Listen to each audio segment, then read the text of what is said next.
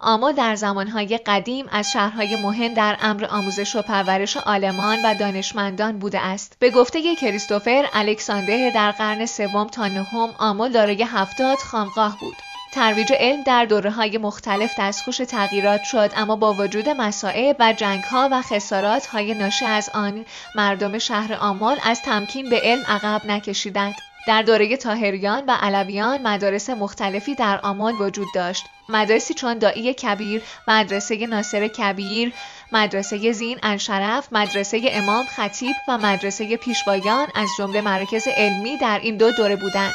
در دوره سنجوقیان آمان جزو ده شهر مهم جهان به شما می‌رفت که در آن مدرسه نظامیه وجود داشت. خاجه نظام الملک توسی در سیاستنامه نوشته است آمل در زمان قدیم دارای هفتاد مرکز علمی بوده و به همراه بلخ، بغداد، دمشق، بخارا و نیشابور جزو هفت شهر دارای دانشگاه قدیم یا همان نظامیه بوده است. آمار به دلیل پیشینه علمی دانشمندانش و اینکه دارای خانقاه و مدارس مختلف اسلامی بود از همین جهت افراد متعددی از دیگر شهرها برای تحصیل به این شهر می آمدند.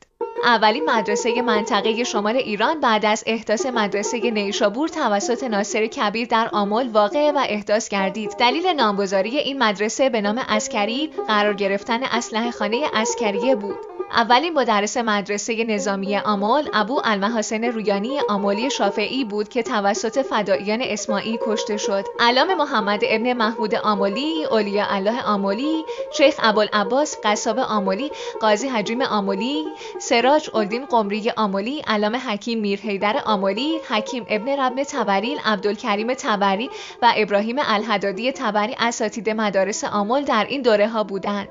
شمسدین مقدسی در مورد اهمیت علمی آمال نوشته است یکی از مراکزی که همواره توجه به علم و دانش در آن وجود داشته آمال بوده است این شهر هیچگاه از امام و نوزار و ادیبان فقیهان و اهل فلاسف خالی نبوده است در دوره باوندیان نیز آمل مرکز تدریس آمال میرزایی سیاق و مساحی در مدارس قرن ششم و هشتم در منطقه بود ابو سعید ابوالخیل، زکریای رازی، خاج نصیرالدین توسی و ابن سینا چهار فیلسوف بزرگ ایران به ترتیب شاگردان ابوالعباس قصاب آمولی، ابن ربن تبری، سراج الدین قمری آمولی و ابو عبدالله ناتلی آمولی بوده که هر چهار تن متولد و ساکن آمل بودند. همچنین محمد ابن جریر تبری مورخ بزرگ جهان نیز اهل آمل بوده است.